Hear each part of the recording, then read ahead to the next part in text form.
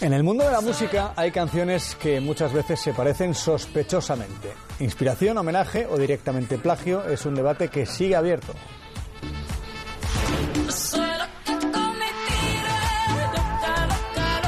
El Loca de Shakira que arrasó en 2010 parece que pertenece al último grupo que hemos dicho. Un juez de Nueva York ha dictaminado que la canción basada en Loca con su tigre, del rapero dominicano El Cata, es un plagio de un tema compuesto en los años 90.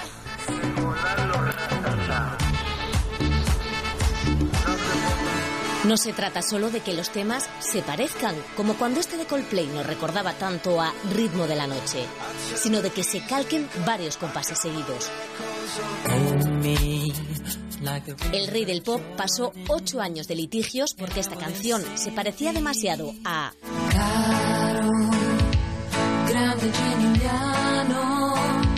Esta otra de Albano. Finalmente Michael Jackson fue absuelto. No tuvo la misma suerte el rapero Vanilla Ice. Cuando el guitarrista de Queen escuchó este tema en una discoteca, le recordó bastante a... Y aunque Vanilla Ice dijo que había cambiado algunas notas, tuvo que indemnizar a los autores. Y hubiera salido más barato reconocerlo desde el principio. Y si no, escuchen esto.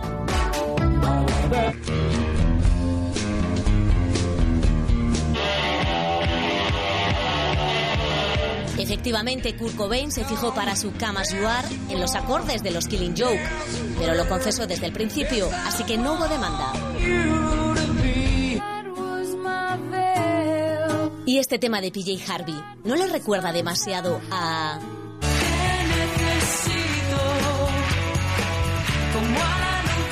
grupo Amaral tuvo que defenderse en las redes sociales. Eso sí, la ley establece un mínimo de entre 3 y 8 compases repetidos para que una canción se considere plagio.